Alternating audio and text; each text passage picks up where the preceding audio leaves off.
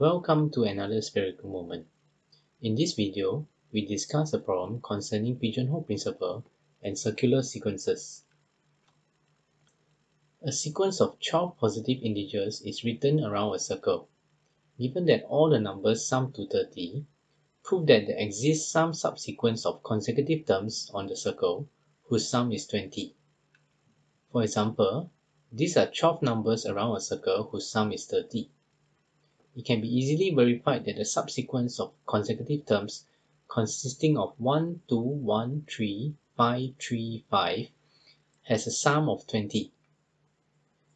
You may use pigeonhole principle to prove the above. As in many problems, the difficulty lies in deciding the appropriate pigeons and pigeonholes. Can you figure out a proof?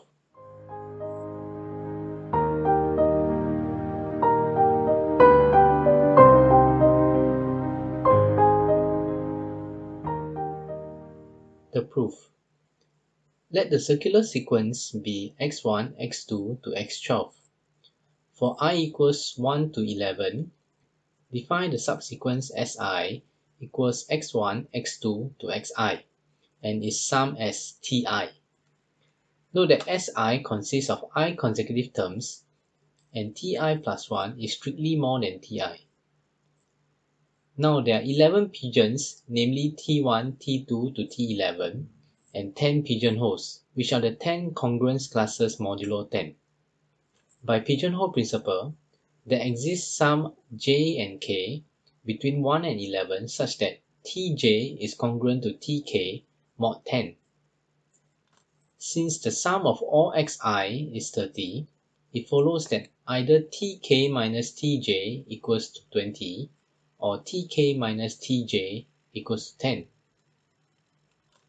If tk minus tj equals to 20, then xj plus 1 plus xj plus 2 plus all the way to xk equals to 20.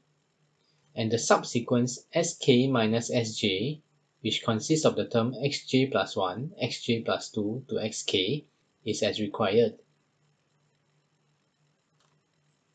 If tk minus tj equals to 10, then by a similar deduction, xj plus 1 plus xj plus 2 plus 2 all the way to xk equals to 10.